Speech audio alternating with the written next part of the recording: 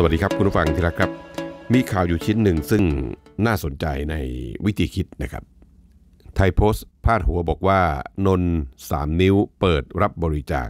ค่าเลี้ยงส่งเข้าคุกก่อนศาลพิพากษาคดีมาตรา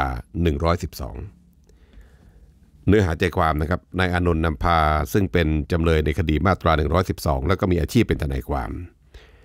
อานนท์ได้โพสต์ข้อความลงใน Facebook นะครับ บอกว่า 23 กันยายนนี้ ขออนุญาตเรียนเชิญอย่างเป็นทางการนะครับ ขอบคุณเพื่อนมิตรที่ช่วยจัดงานให้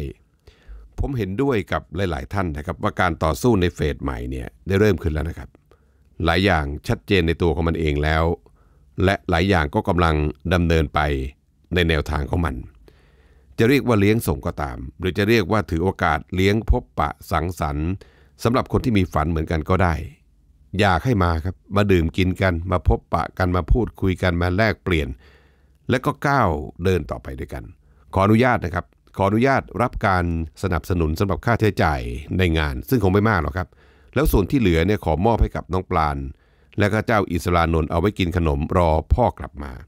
สนับสนุนได้นะครับทางบัญชีธนาคารออมสินชื่อบัญชีคืออานนท์นำพานะครับ ส่วนเลขที่บัญชีเนี่ยเขาไม่ได้บอกมา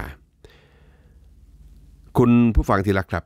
ก่อนหน้านี้เนี่ยในอานนท์คนนี้แหละครับ ได้โพสต์ข้อความเอาไว้บอกว่าเริ่มนับถอยหลัง การสิ้นสุดอิสระภาพ หลายคนอาจจะทราบแล้วนะครับว่าวันที่ 26 กันยายนเนี่ยผมอาจจะต้องเข้าเรือนจำอีกครั้งหนึ่ง เพราะว่ามีคดีมาตรา 112 คดีหนึ่งที่จะมีคำพิพากษาแล้วนะครับ ทุกวันนี้พยายามใช้ชีวิตให้เป็นประโยชน์ที่สุด